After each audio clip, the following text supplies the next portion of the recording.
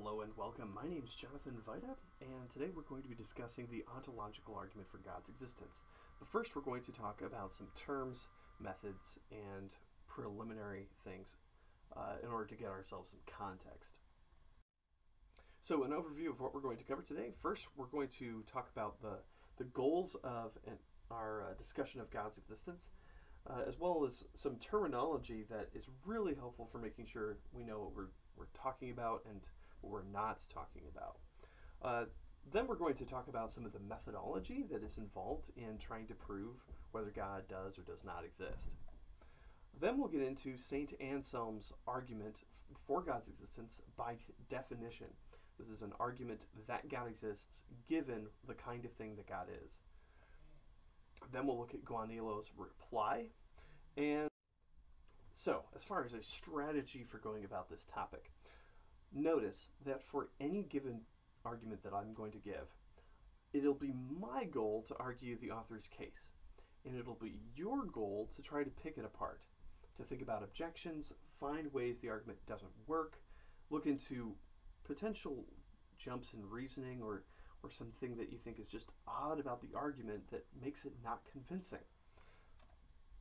Whatever your position is, whether God exists or not, our discussion will be about the reasons that are offered for or against God's existence. I am not primarily concerned about what you actually believe. I care about how you're reasoning through your beliefs. So maybe God does exist, but the arguments that people give in favor are kind of bad. Or the other way around. Maybe God doesn't exist. But you might still have objections, uh, you know, to uh, to these different arguments, and maybe the objections uh, for these different arguments, maybe you can respond to them. Maybe you can answer the worries that are being given. So it seems like what I'm trying to do is I'm trying to be neutral in this debate and try to give you guys the skills to be neutral as well so that you can evaluate the arguments on their own grounds no matter what you happen to agree. And I'll be trying to model this myself. Now, I know I can't actually be neutral, but it's something I'm striving for. So, my hope is that you can't tell uh, from uh, how I teach and the way I'm presenting things what I actually believe. If you want to know what I believe, you can ask me privately. So, I'm hoping not to show my cards at all. Uh, you can talk about it in office hours or maybe after the semester's over. And at no point, at no point in the semester am I going to require an assignment like in that that uh, that movie uh, God is not dead, uh, where I require you to say God does or does not exist, uh, and you'll fail the class or something like that if you disagree with me. That's precisely the opposite of what actually happens in philosophy. So, some terminology for getting into this discussion. First, we can talk about theism. Theism. This is just the view that God exists. The claim God exists is true. Uh, this is just a, as simple as saying there's a supernatural higher power. The, the word God usually refers to this supernatural higher power. So we're just saying, hey, God exists. If theism is true, God exists. Now, there's lots of different kinds of theism, and one of them is polytheism. This is the view that there's not just one God, but there are many gods. For example, if you were an ancient Greek philosopher, you might have a bunch of different gods that you believed in. Or if you're, um, you know, from various times in India's history, uh, maybe you'd have multiple Hindu gods that you would worship. In any case, you believe that there would be more than one God. But there's also another view called monotheism, which is just to say that there is one God, only one God exists. And this is going to be capturing many of the major uh, religions in the West, whether it's Judaism, Christianity, Islam, and others. Uh, they're saying there is a supernatural higher power, but there's only one of them. There's only one of them. And maybe these different groups are worshiping the same God, maybe they're worshiping different gods, but whatever the case is, uh, there's only one that actually is real. On the other hand, you might hold that theism is false. So you would subscribe to atheism. which is just the view that God exists, um, is false. That, that statement, God exists, is false. God does not exist. Now, you can capture this in terms of like the belief that there's no God, or you could say that it's a lack of belief that God does exist. However, you want to capture it, uh, in either case, you don't actually believe that God exists. And in both cases, if somebody said, Does God exist? you would answer no. So either of those count as atheism. There's no God. If you aren't sure whether God exists or whether God doesn't exist, and you don't even think that there's any good ways of knowing one way or another, or if you just don't think that we could ever have evidence that God exists, you might be what is called agnostic. The claim God exists, you just don't know whether that is true or false. You don't know whether there is a God. You don't have any evidence one way or the other, or you just find whatever evidence that's out there very inconclusive so that you could not be convinced from what has been given.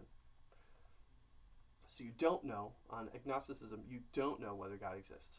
Now, agnosticism, just like um, atheism, notice that, that A at the beginning. So atheism, the, the letter A in atheism just means a, a negative, like not theism. Here, this is saying not Gnosticism, which is sort of right. It just basically means I don't have knowledge. Gnostic just comes from the word for know, knowing in Greek. So theism, atheism, and agnosticism. And so you might come up with this on a like a scale of confidence one way or another. Theism is going to be confidence that God does exist in one direction. Atheism would be the view that God doesn't exist, going confident in the other direction. Whereas agnosticism would be somewhere in the middle where you're just like, I just don't have a pull one way or another. And the evidence doesn't pull me one way or another, all things considered. So, if there is a God, how could we even know that God exists? Usually, there are two different ways that people talk about God being revealed or shown to exist or manifest in our experience. One of them is called general revelation. So, this is revealing that God exists and it's general. so, general revelation is going to be any kind of information that says God exists that's publicly available. Anything that's available to anyone that shows God exists.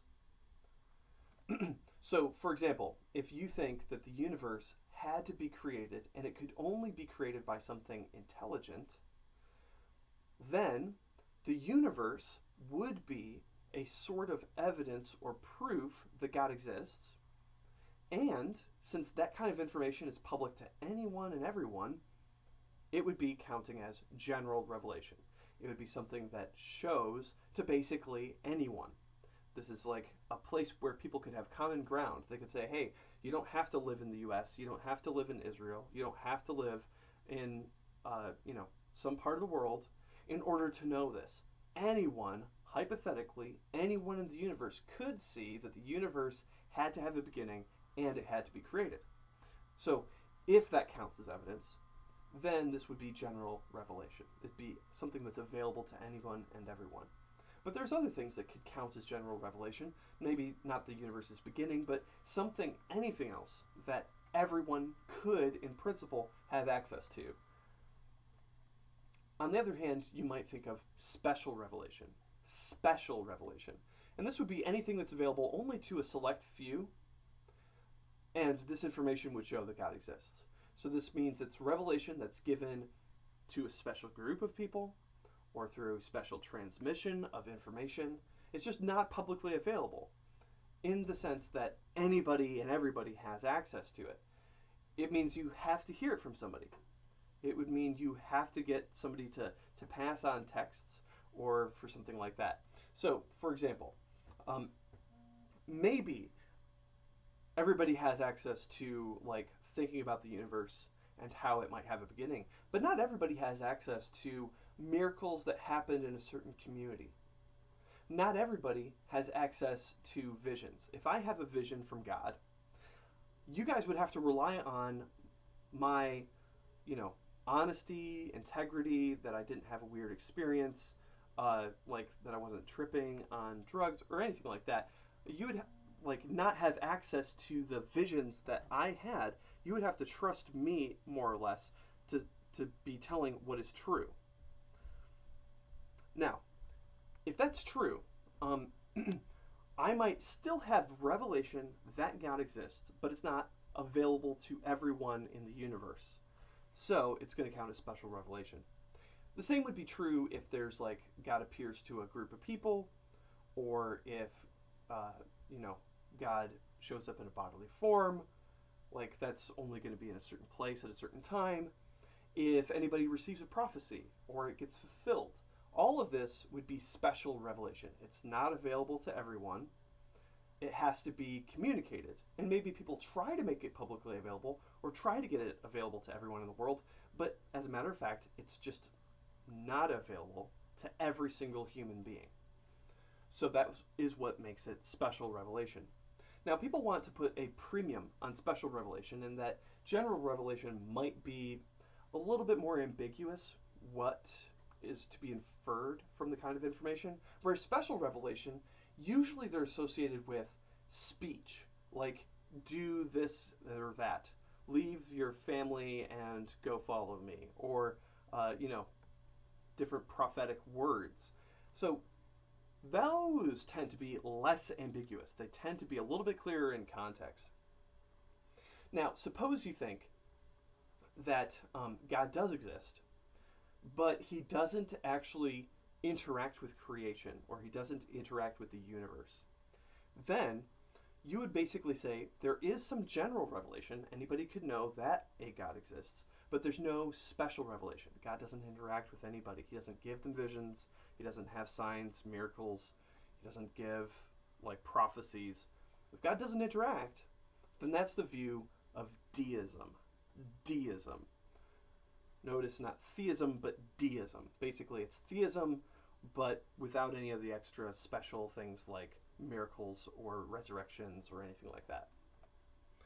So, deism says there is general revelation, but no special revelation. Get rid of the Quran, get rid of the Bible, get rid of the Torah, so on and so forth. They don't actually tell you anything about God beyond what anybody else could know without it.